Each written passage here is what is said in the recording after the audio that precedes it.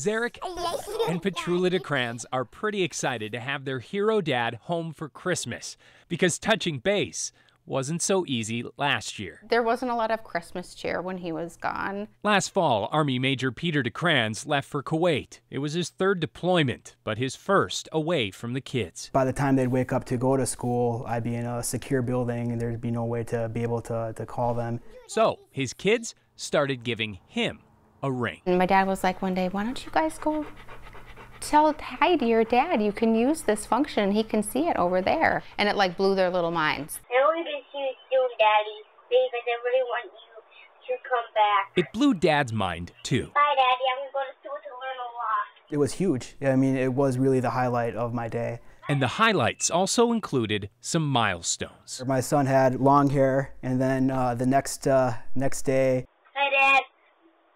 Hi, Dad. I got a new haircut. You told it that it was my birthday.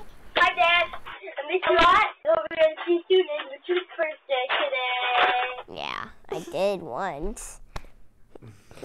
Learned how to ride the bike without training wheels. There's no training wheels, Dad. How cool is that? Yeah, that was that was pretty exciting. No one had to help them. No one had to do anything. They could just go over there and say something to their dad, and their dad will respond and send a video back to them. It was it was a beautiful thing. Dad, Dad, I love you so much.